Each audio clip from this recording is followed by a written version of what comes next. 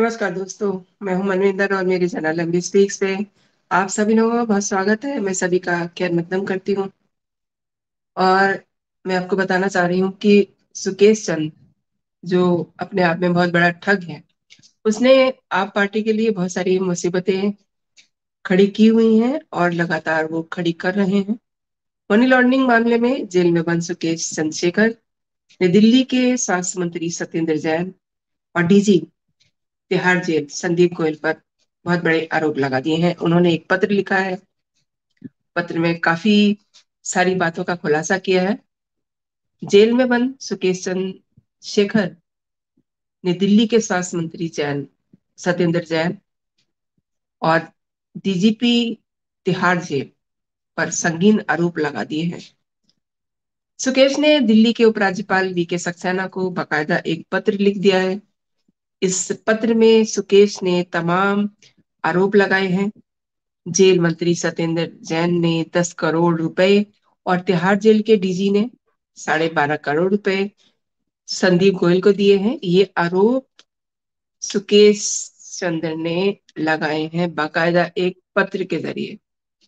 लेकिन सबसे बड़ी बात यह है कि इस ठग की बात पर कैसे यकीन किया जाए?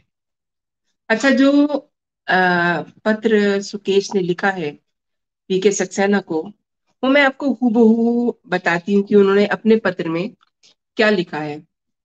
वो लिखते हैं कि ये आपके ध्यान में लाना है कि मैं आ, 2017 से पीसी एक्ट के तहत केस और कुछ आर्थिक अपराधों के लिए दिल, दिल्ली जेल में बंद हूँ। मैं तमिलनाडु में राजनीतिक रूप से शामिल अन्ना दुर्मिक शशिकला गुट से जुड़ा रहा हूँ और निर्माण मीडिया और खनन कॉर्पोरेट लॉबिंग के कारोबार से रहा हूँ और मैं 2015 से आपके श्री सत्येंद्र जैन को जानता हूँ। मैंने पार्टी को फंड दिया था। मुझे दक्षिण क्षेत्र में पार्टी कोई बड़ा पद देने वाली थी और विस्तार के बाद राज्यसभा के लिए नामित करने का भरोसा भी दिया था। इसके लिए मैंने पार्टी फंड के तौर पे 50 करोड़ रुपए दिए थे।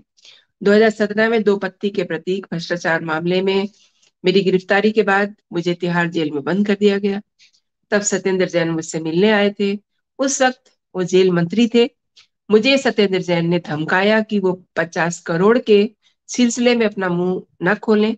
इसके बाद 2019 में फिर से सत्येंद्र जैन, उनके सचिव और उनके करीबी दोस्त सुशील जैन ने मुझसे मुलाकात की और मुझसे हर महीना दो करोड़ रुपए बतौर प्रोटेक्शन मनी के तौर पे मांग की। सुकेश ने यह भी आरोप लगाया कि सत्येंद्र जैन ने उसे ये आदेश दिया कि वो तिहाड़ जेल के डीजी जेल संदीप गोयल को डेढ़ करोड़ रुपए दिए उन्होंने मुझे भुगतान करने के लिए मजबूर किया और लगातार प्रेशर बनाया और दो से तीन महीने के अंदर अंदर दस करोड़ की राशि मुझसे वसूली। सारी रकम उनके सहयोगी चतुर्वेदी के ज़रिए कोलकाता में जमा की गई। इस तरह सत्र सत्येंद्र जैन को दस करोड़ रुपए और डीजी जेल को करीब करीब साढ़े बारह करोड़ रुपए दिए। ईडी द्वारा हाल की जाँच में मैंने डीजी जेल और डीजी जेल प्रशासन द्वारा चलाए जा रहे रैकेट के बारे में भी खुलासा किया था और सीबीआई जाँच की मांग करते हुए दिल्ली के माननीय उच्च न्यायालय में एक रिट भी दायर की है, जहाँ पर कोर्ट ने नोटिस जारी किया है। और श्री सत्येंद्र जैन अभी तिहाड़ जेल में बंद हैं वे मुझे डीजी जेल और जेल प्रशासन के माध्यम से धमकी दे रहे हैं, मुझे उच्च न्यायालय में दायर शिकायत वापस लेने के लिए कह रहे हैं, मुझे गंभीर रूप से परेशान किया गया है, धमकी दी जा रही है। और आखिर में वो अपने पत्र में लिखते हैं कि, महोदय, मैं आपसे विनम्र निवेदन करता हूँ कि आप इस दिशा में जाँच एजेंसी को मेरी शिकायत पर मामला दर्ज करने का निर्देश दें। मैं इस सिलसिले में सारे सबूत देने को तैयार हूँ। धन्यवाद, सुकेश चंद्र जैन। सुकेश चंद्र शेखर।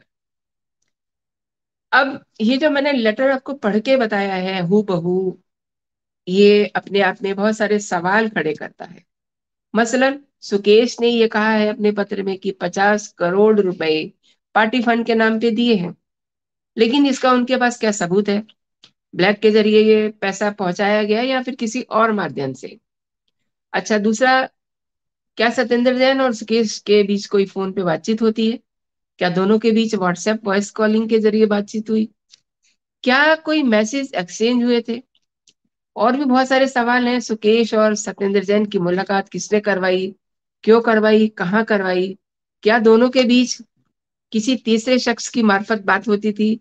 अगर ऐसा है तो वो तीसरा व्यक्ति कौन है?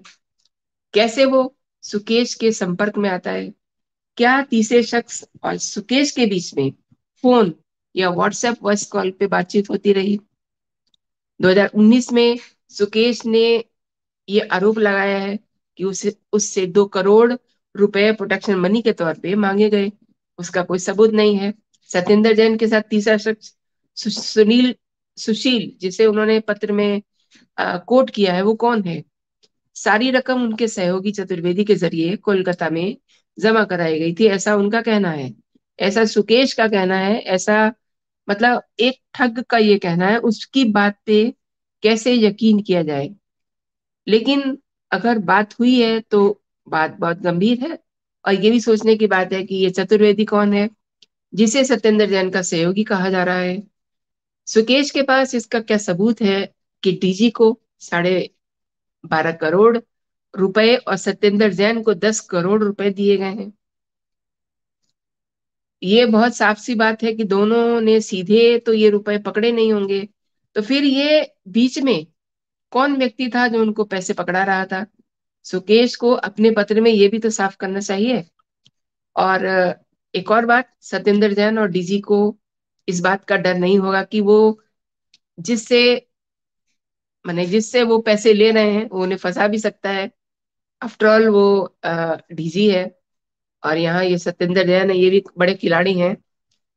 दूसरी बात सत्येंद्र जैन और डीजी के मार्फत सुकेश को धमकवा सकते हैं क्या? ये भी सोचने की बात है। कहाँ का सुकेश की इनसे मुलाकात हुई उसका सीसीटीवी में आ, कहीं कोई ज़िक्र आना चाहिए कोई इनपुट मिलना चाहिए ये तमाम सवाल हैं जिनका जवाब सुकेश को देना पड़ेगा तभी सारी बातें क्लियर होंगी एक बात। लेकिन हमें ये भी नहीं भूलना होगा कि सत्येंद्र जैन की जान को आफत अब और बड़ी होने वाली है। साथ ही दूसरे साथियों तक भी कानून के हाथ पहुँचेंगे ज़रूर, क्योंकि ये जो रायता एक ठग ने जेल में बैठे बैठे फैलाया है, जिसमें उन्होंने सत्येंद्र जैन पर भी आरोप लगाया है, डीजी तिहाड़ जेल पर भी आरोप लगाया है तो कुछ तो बात होगी। अगर बात सौ परसेंट नहीं है तो बात दो परसेंट ज़रूर होगी। लेकिन अभी बातों का सामने आना बाकी है। तो दोस्तों, आप इंतज़ार करिए। वो सब इनपुट आपके सामने में लेके आऊँगी। फ़िलहाल अपना और अपनों का ख्याल रखिए। खुश रहिए, स्वस्थ रहिए। जय हिंद, जय भारत।